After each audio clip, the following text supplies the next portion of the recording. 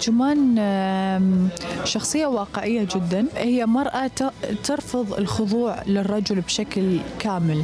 هي عندها شخصية قوية تحس إن هي ما تحتاج للرجل وتحس إن هي قرارها هو اللي لازم يحترم ولازم ينسمع حالها حال الرجل. وهالشيء عبرت عنه من خلال حديثها مع والدتها بالمسلسل هدى الخطيب بدور منيرة. يعني أنا ما أتخيل أتزوج واحد يتشرط علي لا وأغير حياتي عشانه بعد خير إن شاء الله. لا والله ما أسويها. شو مينونة؟ وأيضا خلال إعطائها النصائح لشقيقتها رزان. والله أنا ما أقول غير حسافة بس على شغلك. أنا ماني فاهمة شلون بتسوين كذي.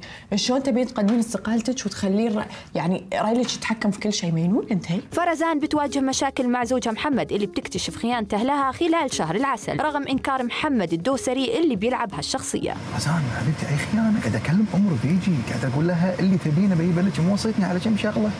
شو أقول لها؟ ام رفيجك تقول لها حبيبتي إن شاء الله تامرين أمر. هو يحب بيته ما يقدر يستغنى عنه لأن مرته ما فيه قصور. أه مع سياق الأحداث نشوف وايد مشاكل تحصل له والسبب هالضعف اللي قاعد يشوفه أه أمام العنصر النسائي. يضطر إنه يرجع بالأخير إلى بيته ويلتم حوالين عائلته. والقصص الاجتماعية الهادفة كثيرة بهالمسلسل واللي بيسلط الضوء على مشاكل واقعية لتوعية المشاهد. شنو ذنبي إذا أنا مطلقة وعندي ولد؟ هم أنا إنسانة يعني شيء طبيعي أدش بتجارب زواج شراكة اللي ينجح واللي يفشل.